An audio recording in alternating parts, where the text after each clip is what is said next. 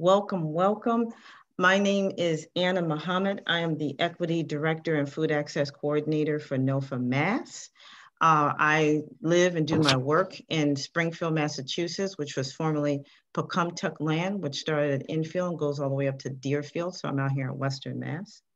And I am joined today uh, on the controls. My co-host is Rafi. So if you have any questions, if you have any technical issues in the background, uh, feel free to use the chat feature. We'll talk more about that in a minute. And either Rafi or myself can assist you. So Rafi is the co-pilot today. Um, our session, as you can see, will be dealing with honeybee hives for community gardens with Mel Gadd.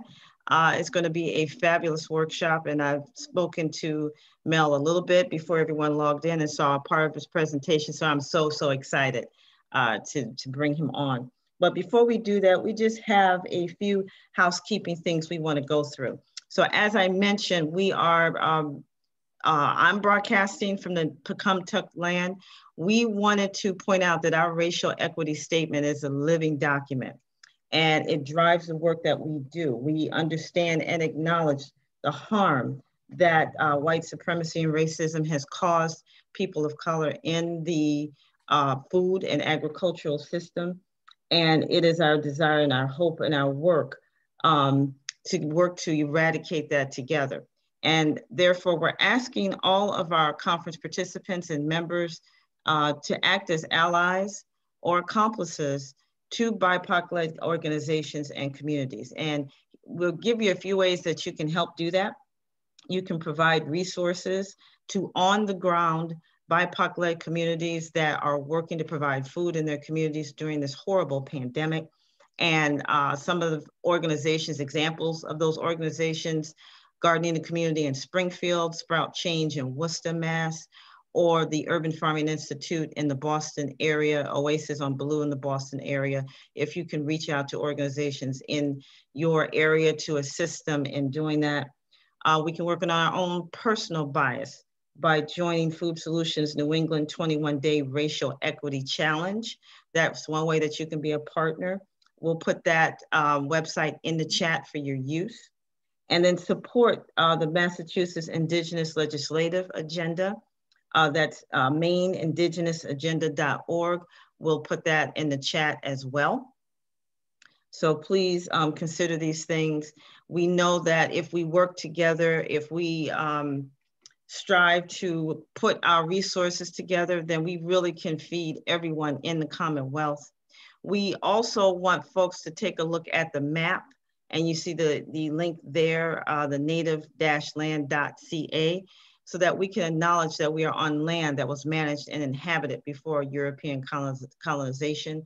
So during the course of this workshop, just during the course of the day, consult that link so that you can find out exactly what it, it, part of our indigenous family actually were in these lands that we live in today.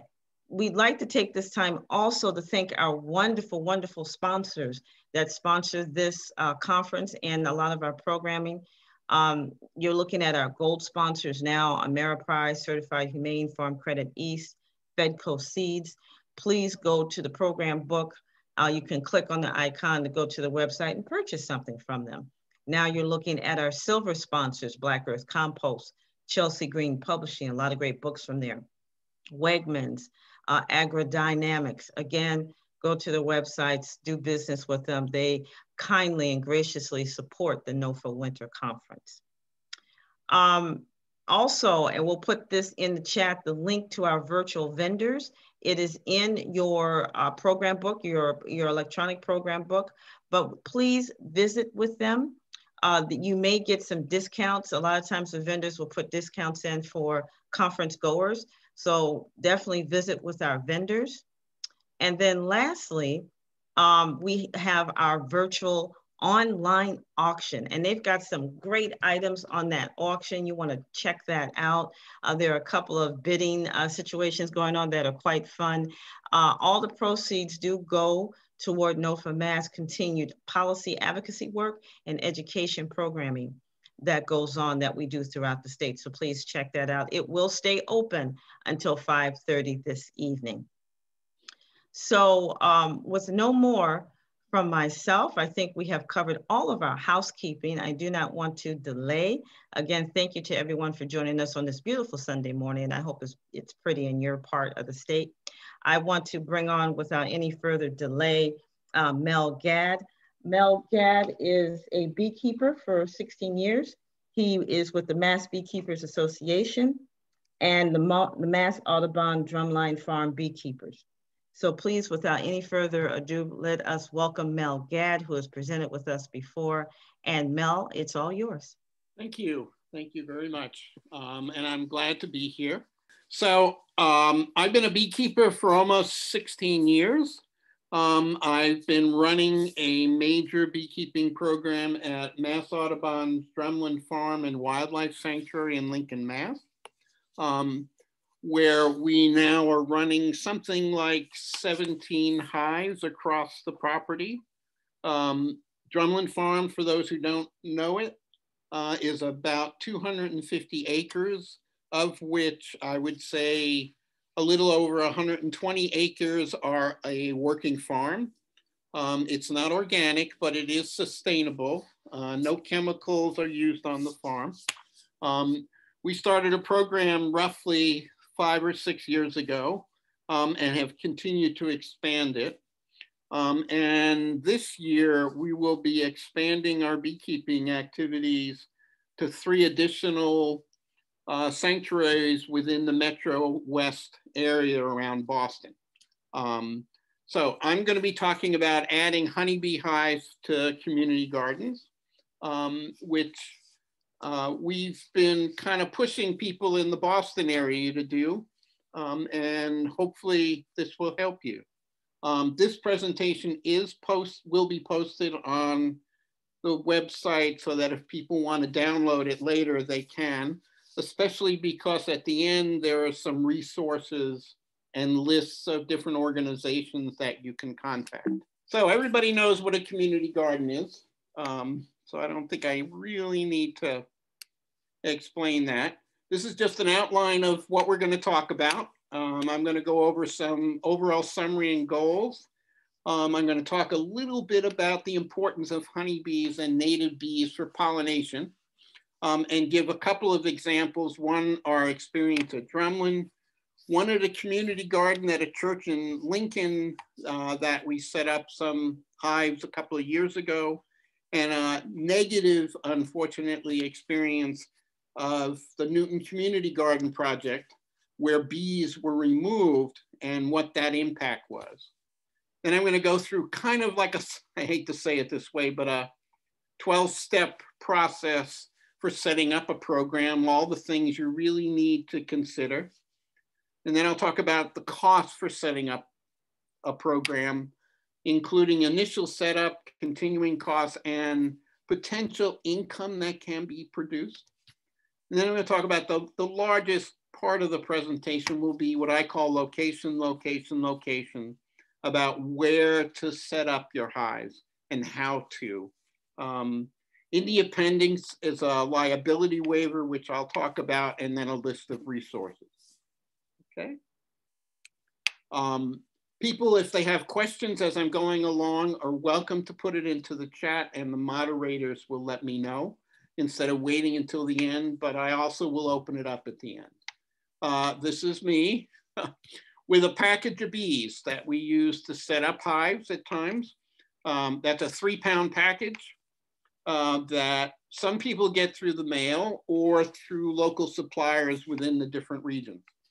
That in that package are 10,000 bees uh, and a queen that we use to set up the hives. Okay, so community gardens have become very popular um, in our communities. It's a way for producing healthier food um, and helping to work towards securing our food, food security. Um, the number of community gardens within urban areas has dramatically increased in the last 10 years. And each community garden has made a small but significant contribution to the health, diversity, and sustainable of our, sustainability of our food system. Um, the goal of this talk is to encourage community gardens to add a feature that will increase the output of the garden as well as help with a major environmental increase issue, the decrease of pollinators in our communities, which I know most people have heard about. And I have actually talked about it at different talks from NOFA summer and winter conferences. Um, adding a beehive to the community gardens will accomplish a number of goals. Uh, one, it will help to increase the, the amount of vegetables produced and the quality of the plants grown in the garden. Um, and it will also help to increase the number of pollinators in our environment, which has become a very serious problem as we deal with the problems of chemicals in our environment and the, the major impact of climate change. Um, so hopefully this will give you everybody a step-by-step -step process for adding bees to their gardens and show why this is a very worthwhile project to implement. Um, there are a lot of pictures interspersed since I think pictures are worth a thousand words. This is a honeybee um, on a plant. And if you look closely at its head, it has what it, we call a proboscis, which is it's kind of like a tongue straw, and it's soaking up the, the nectar from the flower. Flowers produce nectar for one reason and one reason only, to encourage the pollinators, honeybees, native bees, and other pollinators to come to them so that they will collect pollen and help to inseminate other flowers so that they'll grow um, vegetables, fruits, whatever. Uh, and if you look at this, but this bee, you can see little flakes or little dots of yellow. That's the pollen that that bee is collecting at the same time. Okay. So pollinators play a major role in agriculture. Um, if whether it's a farm, backyard, or community garden, without the pollinators, we'd be in major trouble. 30 to 40% of vegetable and food crop, fruit crops are totally dependent upon the pollinators. And when I use pollinators, I'm also I'm talking about honeybees, native bees, and all the other pollinators that are out there. Honeybees are not native to our country. Honeybees are the original immigrants to the country that were brought over by the pilgrims. Sometimes it's hard to believe that back then they brought beehives over on ships, but they did. Um, native bees, such as uh, bumblebees and a whole series of others, there are over 5,000 different types of native bees in this country. Honeybees are the largest number of bees, and they're the only ones that beekeepers are able to manage. Um, so they become the major source for moving around to farms and for pollinating gardens native bees are actually better pollinators than honeybees because most of them are specialists. Like doctors are specialists, native bees are specialists. So there's a bee called the blueberry bee. It only pollinates blueberries. Um, and they pollinate at a rate of 80 to 90%, where honeybees are kind of generalists and they will pollinate at a lower rate but again, because of being able to manage them, uh, they turn out to be the larger number of bees out there. Um, though at Drumlin and Mass Audubon, we're also working to try and encourage the growth of native bees. Um, things like getting people to stop clearing up all the, the leaves that fall in the fall. Uh, native bees often will make their nests for the winter in rotting leaves on the ground. And when people do this total cleanup of their yards, basically what they're doing is they're deleting basically breeding grounds for a lot of the native bees. Um, but I'm, I'm, I don't want to spend too much time on that. Um, pollinators also are responsible for roughly 80% of the pollination of flowers that keep them going. So, and I'm now I'm going to talk about some examples of what pollinators have done for farms and community gardens. One, we started our program at Mass Audubon's Drumlin Farm, um, over six years, we have been documenting what has happened with respect to the pollination and the output of the farm. Um, I actually had given a talk at NOFA before about encouraging small scale organic farmers to start beekeeping programs as a way to increase the output and the quality of what they produce. Um, in six years, we've documented that the output, saying everything else is equal, saying the weather is the same, things like that, even though at times we do get impacted by the weather, um, the output on the farm has increased an average of 20% since we started the program. Um, so that's a major impact for the farm and a major positive force of putting, bringing, reason for bringing in um, honeybees. Uh, this is just a, a community garden. I can't remember where this particular one is. Um, the second, the second experience in using one of a actual community garden project, um, there is a First Church of Lincoln where some of the members have been for the have been running a community garden for the last number of years. And a large portion of the food they produce is donated to different food programs within the region. I got asked a couple of years ago if I would be willing to put a beehive in the garden, um, which we did. Um, and it's been running now for two plus years. And the quality and the amount of output from the garden has definitely increased based on what the members have told us.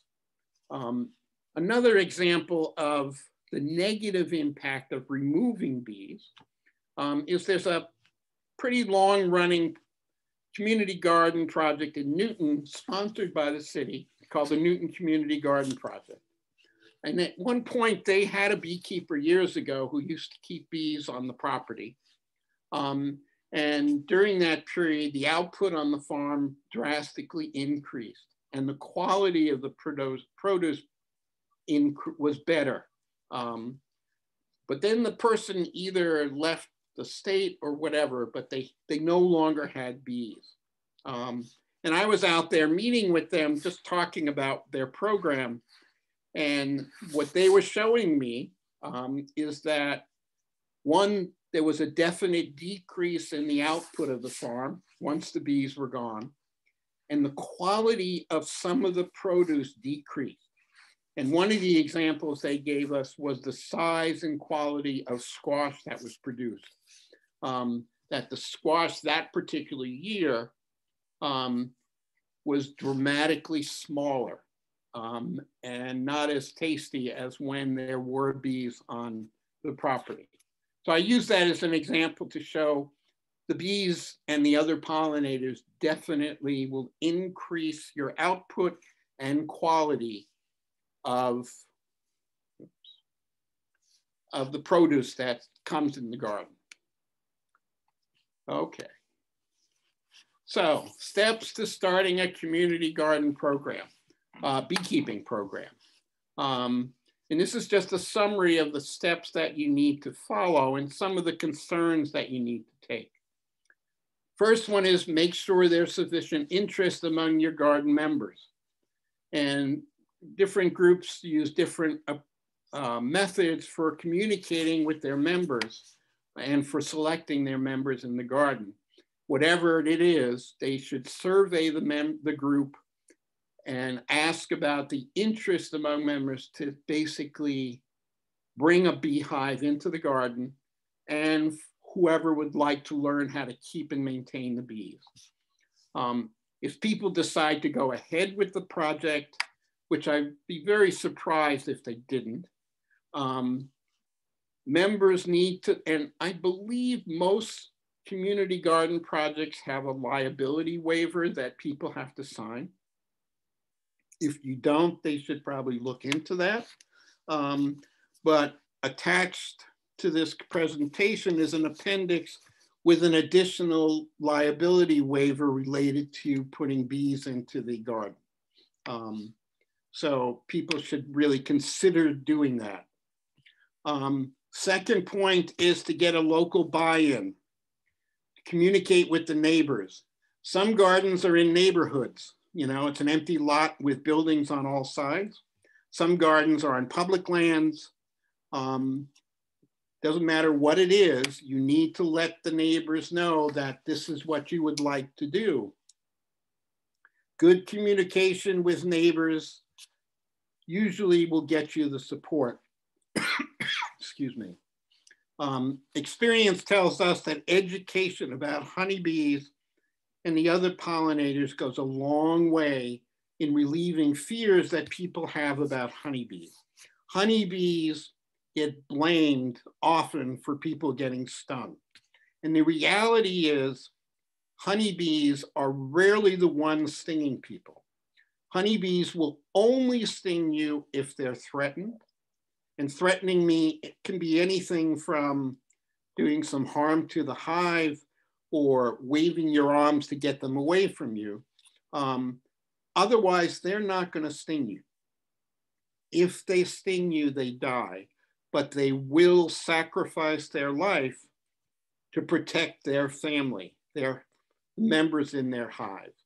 Um, in six years out of Drumlin, we've only had one person stung, and that's because the bee got stuck in her hair and she tried to get it out. Otherwise, we have not had any incidents out at the farm. Um, education is a major issue that people, once they understand that bees really are not the ones stinging them, that it's more likely wasps and yellow jackets and hornets, that they really will start to support programs. Um, there's a lot of great educational material out there. Some of it's listed in the, in the resource list that I include in the presentation.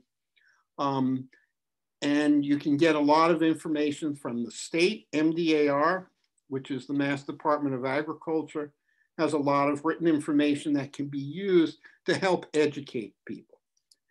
The other one you need to get a approval from is the owner of the garden land, whether that's a public entity or a private entity, to allow you to establish a honeybee hive.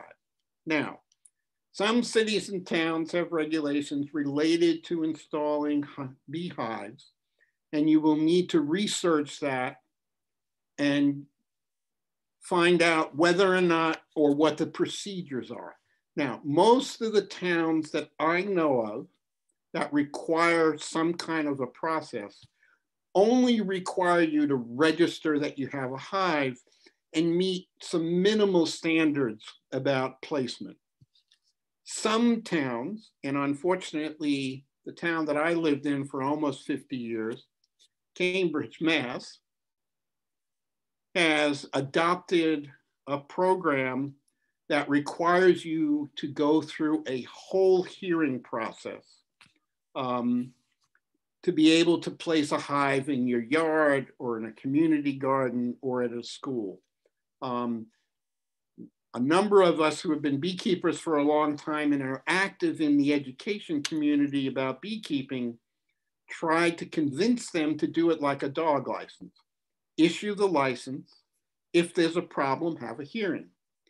But of course, Cambridge in its inimitable style decided not to do that to start this whole process, which has discouraged many people from putting hives in their backyards because they don't want to spend the money and go through the process.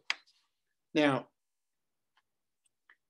I, I heard this morning when we were before the program started that Springfield doesn't allow honeybees.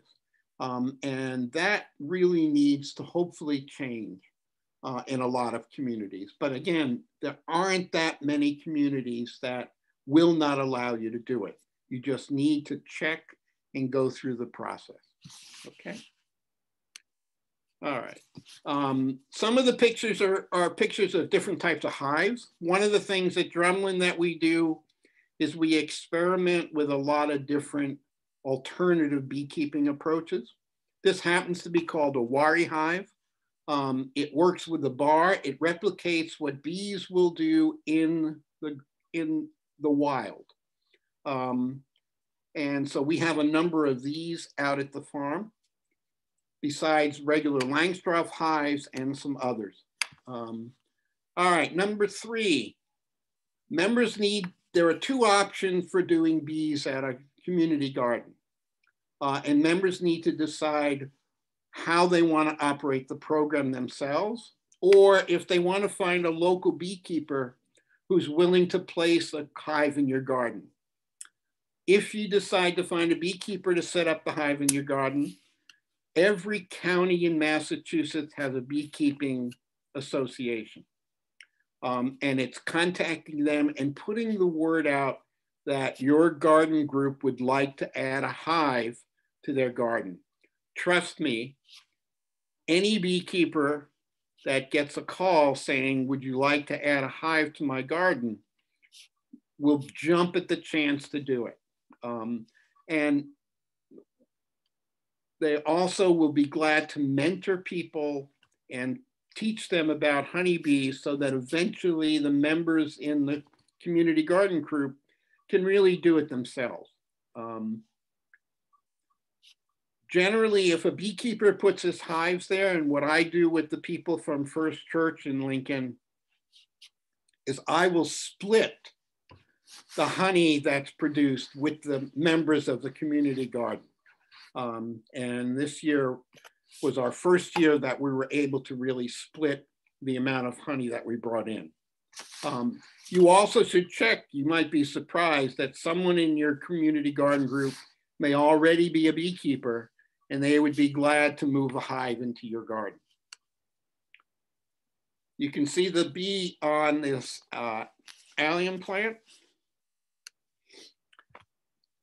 If people decide to set up and run the program themselves, it's recommended that those members who are interested try and take a beekeeping class.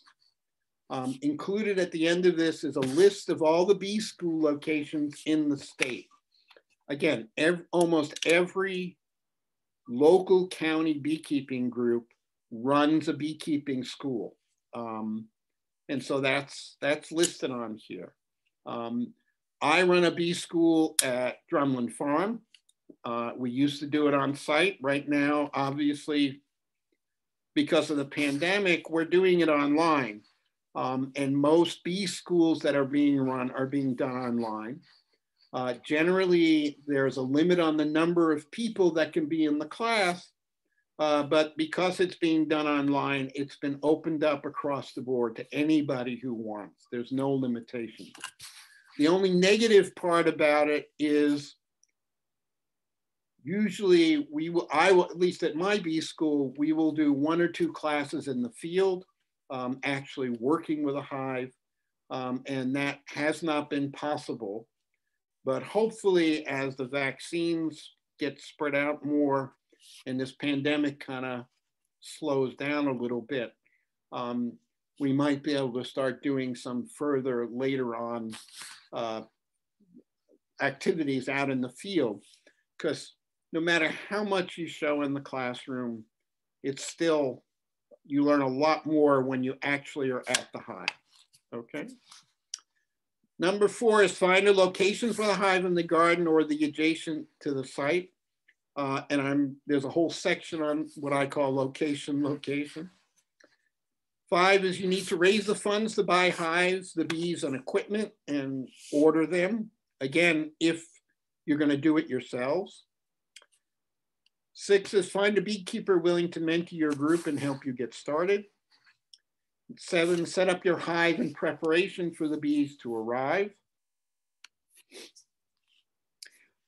Most bee programs in this in our state start generally in April um, when bees from suppliers become available. And as the plants start to bloom, um, it really works. This happens to be a hive in at one of the hives out at Drumlin, and you can just see the girls coming in and out. Um, eight is install the bees when they arrive and document the process. Um, I push documenting the whole process uh, as an important feature. Um, one, especially in a community garden where um, different people in the group are going to be working with the bees, it's important that it's documented what you might have done or seen at the time of your spending time in the hive. Nine is develop a schedule for hive checks, including who's going to do it and when. 10 is you need to decide how to handle the honey produced, whether it's going to just be distributed to the members of the community garden or you're going to put it up for sale. And I'm going to go through some numbers here. Uh, and 11 is capture the honey. And again, either distribute to the members or set up a selling program. And I'm going to repeat this again since I've already said it. Important issues to remember is keep a detailed diary of activities related to the hive. Keep the diary on site so other members, when they come in and they're going to work in the hive or do something at the hive, they can see what's been done previously. Document all the activities at the hive, including findings of any inspections you do and document any problems and solutions followed so future persons overseeing the hives have a detailed history. Again, I can't stress how important this is. Many people document what they do in their gardens every year um, and will learn from that about how to improve what they're doing in the garden. There's one of the, the girls, and I say girls because 95% of the bees in a hive are female. It's a female dominated society. They're the ones out there foraging and bringing back nectar and pollen. Um, if you look at the, this is, happens to be a sunflower, which they love. Um, the yellow kind of pellet on its leg in the back, which is called a pollen basket, is pollen that the bee has collected, which you can see on its body that it kind of compresses. Pollen becomes the bee's protein source. They mix it with a little nectar or honey, uh, and it turns into what they call bee bread. Honey becomes their, their um, I'm blanking on the word, um, but is another food source for them, okay? All right, this is a cost analysis uh, for setting up. Bee yard etiquette. Um, don't be afraid of the bees. Um, I'm convinced, as some people are convinced, that with dogs, if you act afraid, they act accordingly. I think it's the same thing with the bees. If I go out and work in my hive and I'm not acting afraid, they tend to be more gentle unless something else is going on. Um, don't swat because that is threatening to them. Um, and just act normal. Don't be afraid because again, honeybees will only sting if they feel threatened because if they sting, they die. And they don't really want to die, especially since their lives are fairly short. Um, my analysis that I'm going to run through with you covers a typical setup cost for a beekeeping program. And it's set, and the projection is for one hive. So obviously, if you wanted to do more, you, you can go through the numbers and double them. Um, the prices and equipment are based upon one particular supplier called Betterbee, uh, which is one of the better suppliers in our region. Um, and it's based on their most recent catalog. Um, I don't include labor costs because generally you're doing it yourself um, and it doesn't really take that much time. Uh, here's a beekeeper working in a hive with some protective clothing. Okay. Um, this analysis has assumed that you buy and purchase everything you need um, and that you're purchasing pre um, built equipment. You don't, there are ways to cut these initial outlays down. And obviously, if a beekeeper decides to bring his hives in, there will be no setup costs. Um, you can buy high boxes and frames that are not assembled and put them together yourself. You can try and get stuff donated. I've gotten a number of things donated to Mass Audubon for our hives. Um, and one of the bigger items in here is a spinner for capturing honey.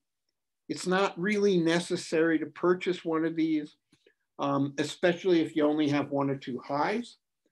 Most county clubs have spinners for rental um, for a day or two so that you can spin it out. And there are other ways that you can learn to capture honey without using a spinner, okay? Um, again, there's another bee and you can see some pollen on her back leg. One just interesting piece of information for people um, is one of the ways you can tell the difference between a honeybee and other pollinators and yellow jackets, wasps, and hornets, because not all honeybees have that yellow color. Some of them are darker color, and often people will confuse them with yellow jackets, wasps, or hornets. Honeybees and other native bees have bent antenna. So if you're looking at a yellow jacket, that antenna would be straight and generally they're much more shiny. Um, and again, if it's a honeybee, it's got a bent antenna. There are those of us who are on these swarm lists that people will call you and say, there are bees in my yard, can you come and get them? Um, generally, if people call you in the fall, it's generally not honeybees, it's generally yellow jackets looking for a place to set up their hive. Um, and I used to run out and go to capture them and then realized that was crazy because 98% of the time it was yellow jackets. So I now have people take pictures with their phone and send it to me.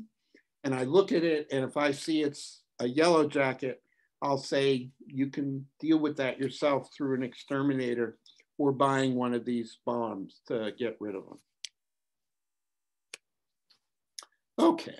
Um, I'm not going to run through. This basically spells out every possible item you would need to buy, be, including beekeeping equipment, bees themselves. There are a number of ways to get them. One is to buy a three pound package, which when I started beekeeping almost 16 years ago, I was paying somewhere between 65 and $75 for a three pound package. This year, they're now up to $145.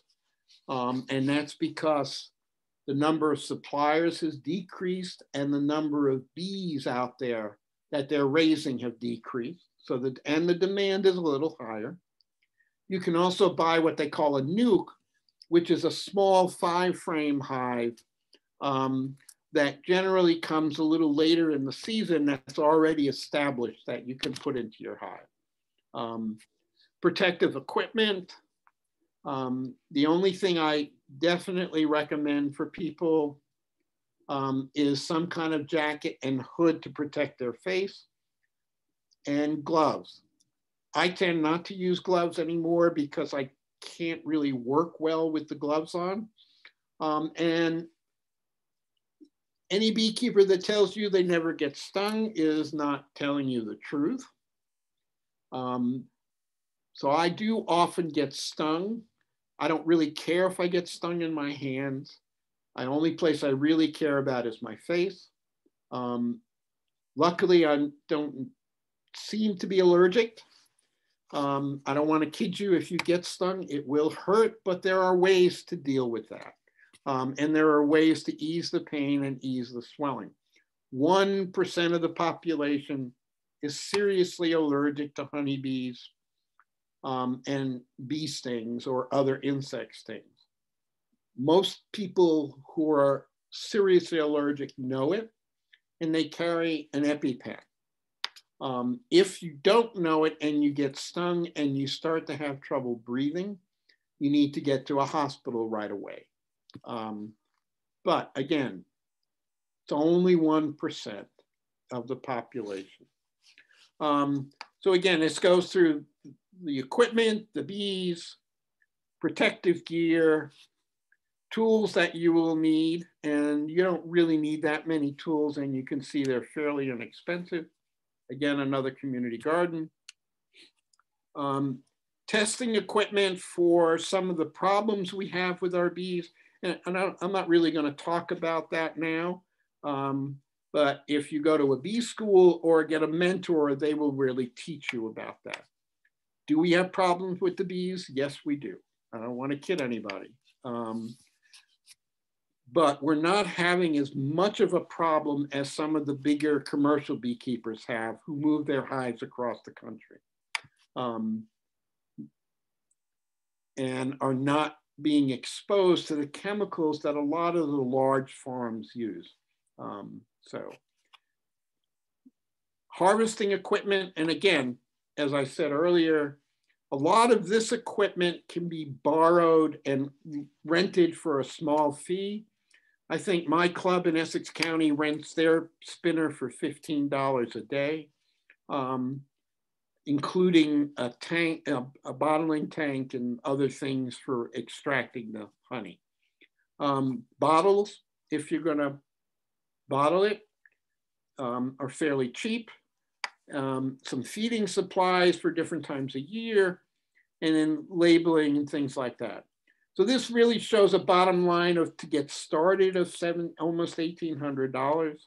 Um, again, this can be cut drastically. Um, but to get initially started on your own, you really do need to raise some money to, to establish the program. Um, when I get through into location, I am going to talk about you do need to provide water sources, just like you need to water your plants. The bees need water. Um, annual continuing expenses. Um, this comes to a bottom line of 365. I carry replacement of the bees for every year, though that's not typical. Um, out of the six, let's say 16 hives at Drumlin, um, right as of right now, uh, I have only lost four of my hives for different reasons. Um, but often you can get through every year without losing your bees. Um, a repair fund to make repairs to your hives or hive, um, feeding for early in the season, and then annual bottles for bottling.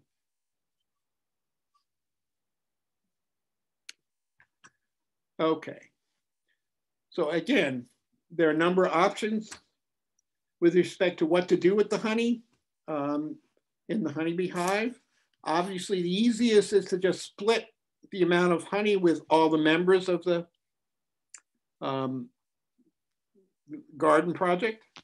The section op second option is to sell the honey. Some gar community gardens will sell or donate their excess supplies or produce to food shelters or sell it. Um, or you can sell it through a hive, a, a honey stand or um, at a some of these programs where people are selling their produce um, and use any of the surplus to kind of maintain your community garden as a whole. Um, in a good year, a typical honeybee hive can produce approximately 180 pounds of honey. You need to leave roughly 80 pounds for the bees in the hive. Um, and then for them to eat and to get through the winter. Um, and that used to be 60 pounds, but because of climate change and some of the other issues, we're now telling people to leave more. And then you can use the balance for whatever, whether you're giving it out to your members or selling it. No. Yeah. Can we interject with a quick question? Oh, sure. Um, Keith asked um, for your particular farm, the Drumlin, where you where you work with the bees there. Have you ever um, sold honey from there? If you have, are there different sizes? Drumlin, we collect all the honey or a lot of the honey at the farm, and they sell it um, at the front entry of the stand. We sell eight ounce jars, Um, it's funny because that was going to be on the next slide. Oh, okay. All right. I'll let um, you go right into it. um, so if you go to sell your honey in the metropolitan Boston area, um, the average price for an eight ounce jar of honey is $10. Now this is obviously raw honey, which is the best honey you could buy. Um, so if you have 180 pounds that you're taking, that you get from the hive and you need to leave 80 pounds for them, you have 100 pounds of honey for sale. That translates into 208 ounce bottles. When you multiply 200 by $10 a bottle, that's $2,000. Um, and if you just use what the annual costs are to run your hive and deduct that, that means on average, you will have somewhere between $1,500 and $1,600 for maintaining your community garden. Now at Drumlin, because we have 16 hives, we raise a lot of money from honey sales that they use for programs. Um, so yeah, it's besides increasing the output on the farm, we also have the honey sales and those honey sales contribute a lot of money to the program. Um, now, some of that money is used to cover my costs because I get paid for working out there. Um, and the balance is used for other activities at the farm. So it's not just helping with the pollination of the garden, it also will generate some money. And that was one of the things I pushed in the talk I gave about small farms starting honeybee programs. Um, oops, all right. So the next big issue um, is locate, what I call location, location, location. You know, it's the real estate approach to honeybees. Um, the best location is what you're looking for. So this is an example, this picture is actually from England. Um, and this is a community garden that's located on the roof of a building. Um, and in Boston, there are a lot of hotels now that have honeybee hives on their roofs. Um, and the honey is used in the restaurants. Um, so, you know, you can put, well, I think you can put community gardens anywhere, including on roofs, and honeybees anywhere. All right. So bees can fly anywhere from two to five miles looking for nectar and pollen. They do best when they travel less uh, because they don't use up some of that nectar that they've collected um, for fuel. Um, so and if you're putting it right next to the garden, they're not going to go far. As long as you're planting, um, besides vegetables, you really need to do planting with some wildflowers and other things that allow a food source throughout the whole season um, on, on the, uh, for the garden and for the bees. So um, Choosing a good location increases the chances for a strong productive colony. Um, you also need to consider the neighbors. Um, and some of the other things to keep in mind is, as I talked before, any city or town or state regulation. Right now, the only real state regulation in Massachusetts is your hive has to be set up so that if an inspection came, from the state came, they would have to be able to remove the frame from the hive to look at the, the frame and see how the bees are doing. Um, that created a small problem for us at Drumlin because some of our hives were set up with a more natural approach to beekeeping um, so that we were just using a bar. So we've kind of modified the design of the bar to allow, if we need to pull it out of the hive, we can do that. Um, you need a site that's easily accessible. Um, again, close to sources of nectar and pollen and water. Um, that really shouldn't be an issue since you're putting it right in the garden. Whoops. All right. This happens to be a hive that was set up in my own yard uh, at one point. This is a traditional Langstroth hive. And you can see sitting in front of it is a, what I call it's a chicken watering bottle. Um, besides pollen and nectar, bees need water. They need water for basically two things. One, for their own bodies, just like we do. And two, they use the water to cool the hive in the summer. Um, they basically will put water into the cells and flap their wings and create the, almost their own form of air conditioning to lower the temperature in the hive. The average temperature in the hive during the season is a little over 90 degrees. The queen needs 90 degrees plus to be able to lay her eggs and raise and for the eggs to develop. When it gets over 110, they will start to cool the hive down um, to control that. And they're very efficient at doing that. You need a well-drained area. Uh, you don't want to put your hive in an area that collects water or a low spot. Um, you want to make sure your hive is situated so that it gets the sunlight as early as possible.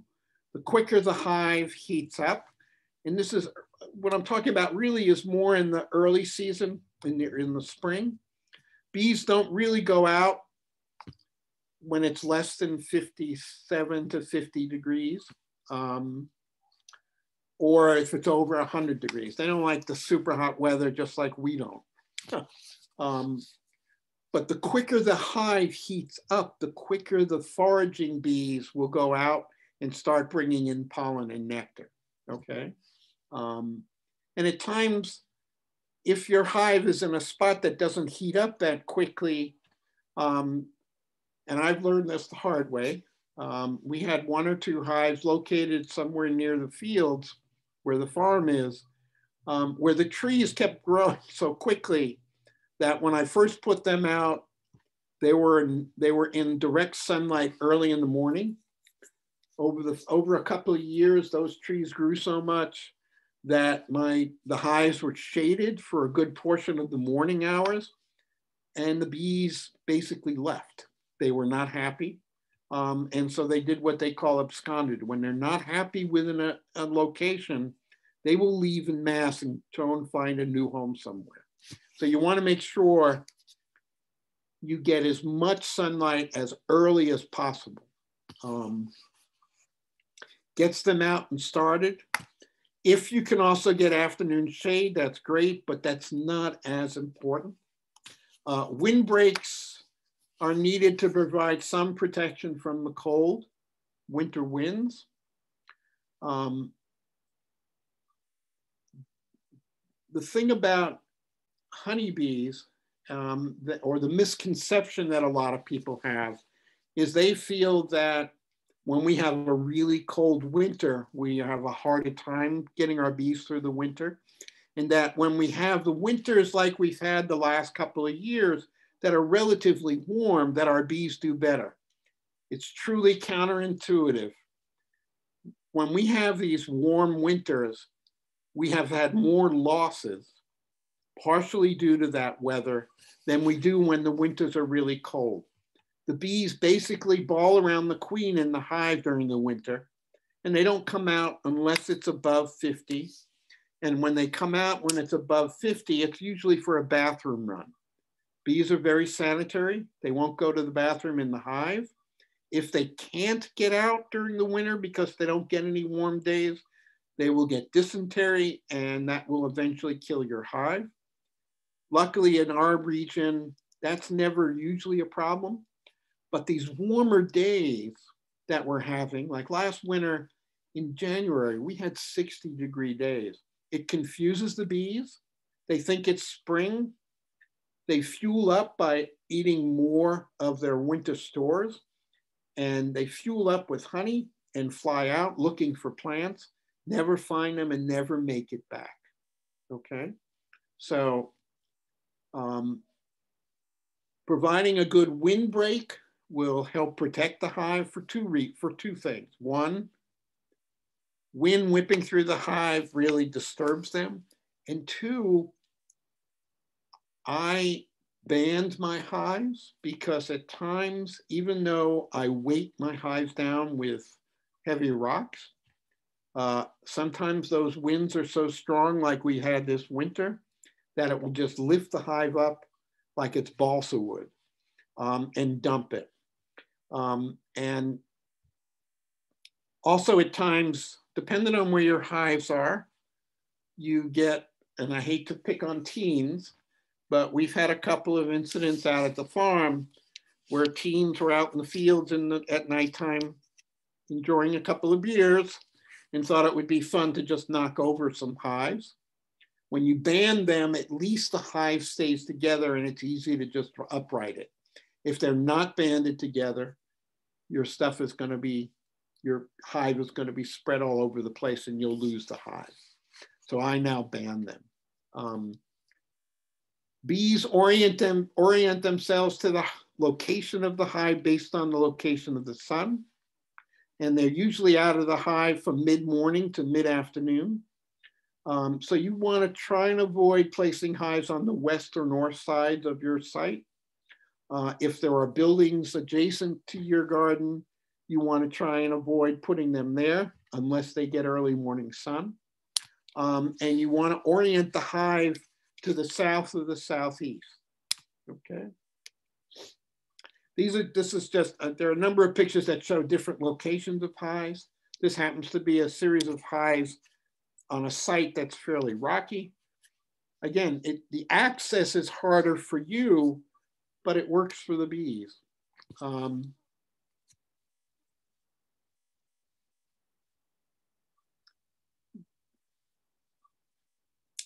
you want to locate your hives in a location that makes it easier for you to carry them so that when you're capturing honey and you're capturing those boxes, those boxes can weigh, based on the size, can weigh anywhere from 40 pounds to 80 pounds. Um, so you want to make sure that it's an easy location to get to. Um, you want to locate your hives away from sidewalks or, or walking paths um, so that, and if you need to put them near there, you're gonna wanna put some kind of barrier or fence in front of them to push the bees up because you don't want the bees flying out at basically the average height of a person into people. Um, so you wanna push them up so that they go up and over the sidewalks or walking paths, all right? Uh, I wouldn't put it near a large river, um, especially if they need to cross that river to access sources. But again, that for most community gardens, that's not going to be an issue. Um, and you, at times, depending upon where you are, you may want to protect your hives with some fencing. Um, an example is we had a hive in the kids' garden at Drumlin when we first started. Uh, and two days later, after we had put bees in, the hive was knocked over.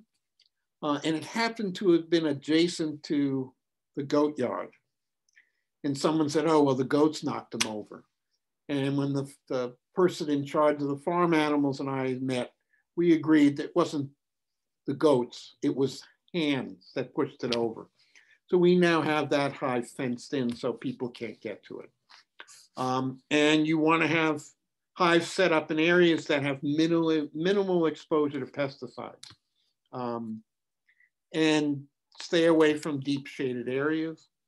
Again, these are three different types of hives. The yellow one is a Langstroth.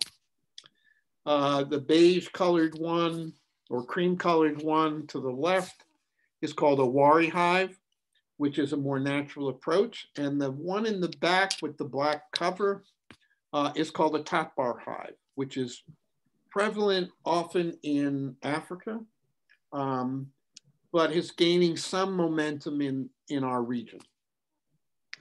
Now, we have uh, another question that came through if you want to take it. Sure. Um, Keith uh, has asked again uh, on predators. Um, are do bees have natural predators? Yes. Okay. Um, so the predators that you need to watch for, and this is a perfect slide to, to show that uh, in our region, um, besides people or kids or teenagers who think they're having fun, um, raccoons, skunks like to eat the bees. Um, and my, my experience with skunks in this particular, these two particular hives, as you'll notice, they're up at least 16 inches off the ground. My neighbor had a family of skunks living underneath its porch. They used to come, the babies used to come into our yard and stand under the bird feeders to get the seeds. And then they discovered the hives. Well, when the bee, when the skunk stood up um, to get to the entrance, um, the bees attacked their stomachs. All you need is one case of the bees attacking the, the skunk or the raccoon stomach, and they won't come back. Um, those are the biggest predators around here. Now, since we're talking about people all over Mass, bears have become a bigger problem in certain parts of the state. Um, Concord, I had a couple of students from Concord who last year lost their hives to some bears that all of a sudden appeared in Concord. Um, and it's their bears are difficult to deal with, as everybody knows. Um, what we tell people is you can put up a fence or an electrified fence on a solar system or however you want to do it. Um, but bears will walk right through an electric fence. Um, and the only thing that we have seen stop them is if you wrap the top of the fence with raw bacon. The bears go to bite the bacon and bite onto the wire and get a shock and disappear. But otherwise, they're almost impossible to stop. Um, I have friends in New Hampshire who were hit by bears so many times, they now put their hives on pallets that they created a pulley system that they raise them up in the air um, and secure them so that the bears can't get to them.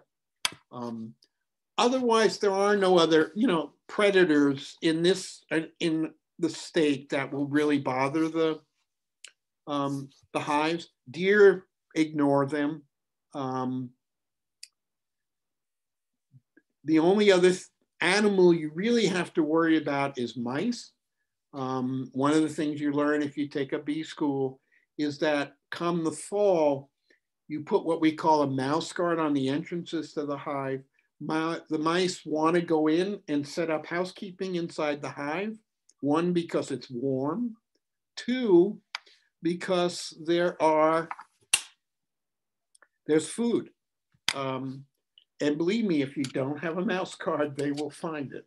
Um, but otherwise, again, except for teens or people who think it's funny, um, predators are not a big issue. Okay, I hope that answers the question. Um, bees need water, as I said, so you need to create some sources of water. Um, a bird bath, a chicken watering bottle, even a dripping faucet, though that tends to be wasteful. Uh, simple things like taking an, a garbage can cover and filling it with rocks and putting it in front filled with water. Um, I do a hive at a school in a private school in Cambridge with the kids uh, because the first graders and the fifth graders learn about pollinators and they have a community garden. One of the jobs the kids have is they have to make sure that the watering bottles or cans, we're actually using the clay pot bottoms, I forget what they're called, um, filled with rocks, they have to keep those filled because across the street from this school is a apartment complex that has a swimming pool. And if there's no water near the hives, they're going to go to the swimming pool and we'll have complaints. Um, bees will drink the, the chlorinated water. It doesn't seem to bother them. Okay. So You want dappled sunlight. You want an evergreen hedge to help block the winds. You want easy access. You need a water source. And you want good drainage. You don't want moisture to collect underneath the hive. As I think I started to say earlier, the cold weather will not kill your bees. Obviously, there are bees in Maine, there are bees in really cold parts of Russia. Um, what will kill your bees is moisture. And the bees generate a lot of moisture in the winter inside the hive through the process that they use to heat the hive. So you want to make sure there's a good airflow through that hive to remove that vapor. If you don't, the bees, the moist, the vapor will collect on the top and it will rain inside your hive and you lose your bees. So it's the moisture that will cause the bees to die. Um, so making sure you're not in a kind of little dipped area where water collects will also help prevent that from happening. Um, again, I, I mentioned that before, you wanna make sure the bees fly away from the neighbors um, and that you're pushing the bees up so that they're not flying into the sidewalks you obviously want to keep them away from top play areas since kids, even though you educate them, will start swatting and we don't want them getting stung. Um, this is just some examples of hives in different locations. Um, the other serious considerations are, do your members approve? Um, or do you have any member or families that have an allergic reaction to these things?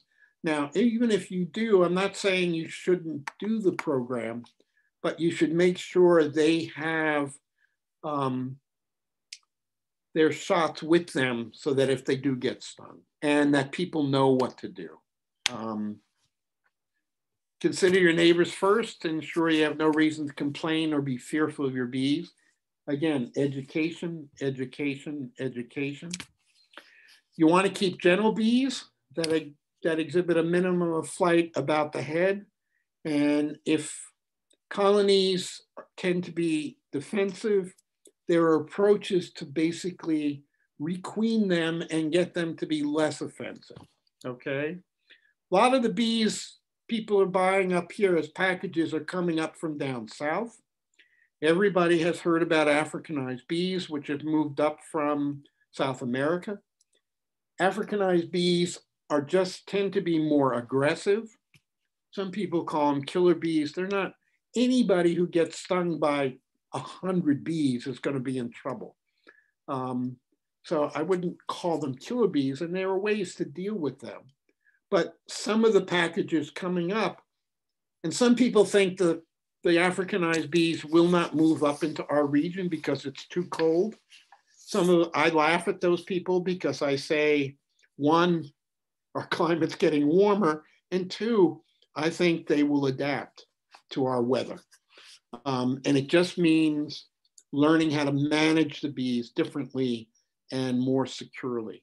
Um, and that really takes learning about bee biology and how to manage the bees, okay?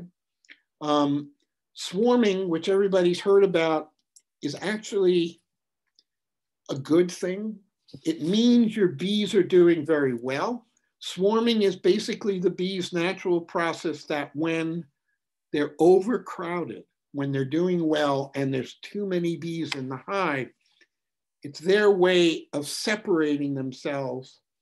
And roughly 20 to 30% of the bees with the old queen will leave the hive and go try and find a new place to live people get scared because they'll see, I don't know, 20, 30,000 bees flying in a black swarm. Um, and they think it's really dangerous. The reality is when bees swarm, they are less dangerous than if it's just a regular hive because they have stuffed themselves with honey and pollen because they know they're going to need energy to create a new, to set up new housekeeping somewhere. So their bellies are full they can't push their stingers out as easily, okay? A lot of beekeepers love catching swarms because usually they are bees that have overwintered over a season, so they're healthier. Um, and it's a free source of bees. Beekeepers tend to be cheap. They don't want to spend a lot of money. So if they can get bees for free instead of buying a new package, they will do it. Um, but again, it's educating the neighbors. I don't really care about swarming. So have I caught swarms? Yes. Do I have some of my hives at Drumlin that have swarmed on me? Yes. I don't always try and catch them because what it does is put more bees out into the wild. And that's part of my purpose of our beekeeping program out at the farm. This is just some bees on a sunflower. They love sunflowers. You want, again, keep an attractive water source nearby so that they're not gonna visit neighbors' pools. Um, I had a neighbor across the street from me that had kind of a water feature in their yard and the, some bees, and they weren't really, I don't think they were from my hive, but from another neighbor's hives were ending up in their yard really bugging them.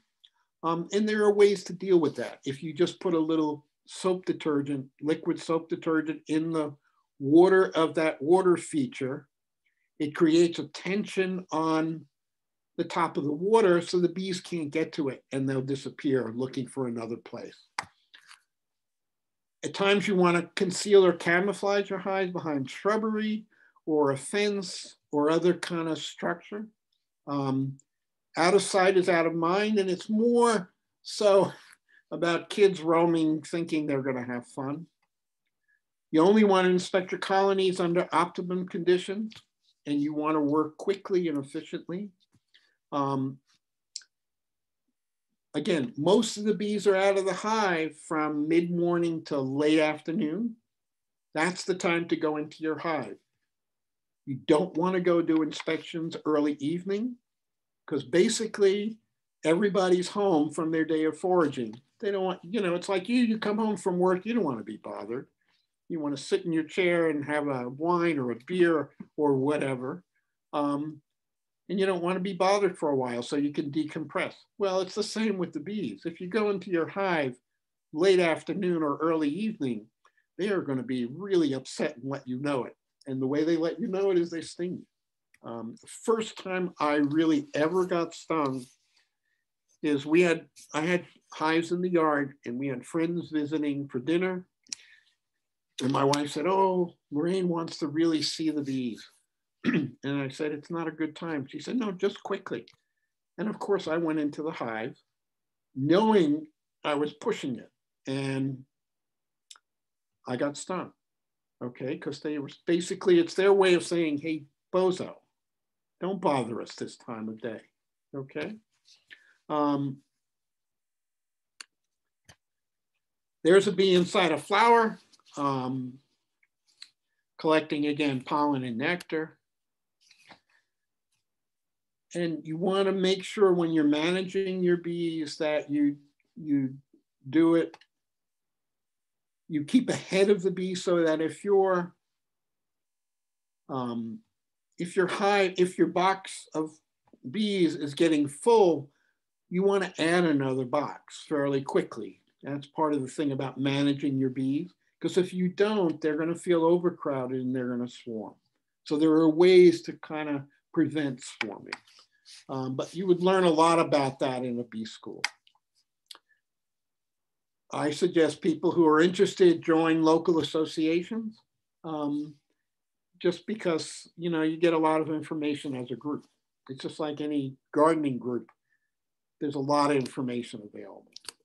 So these are just samples of locations of bees. Um, locations, again, this is just a summary. I'm gonna jump through this. Another location. is a hive with a lot of flowers nearby. And again, you wanna do plantings besides your regular vegetables in your gardens. You wanna also make sure there's a lot of wildflowers and flowers that bloom over the whole season, okay? Uh, This happens to be a hive at the school in Cambridge. There's a hive that we had, I had located at a assisted living uh, where they had a garden and this one, you can see there are windows that people can look in and see the bees, so they're learning stuff, but also the garden did much better. And it was hidden from the street. You really couldn't see it.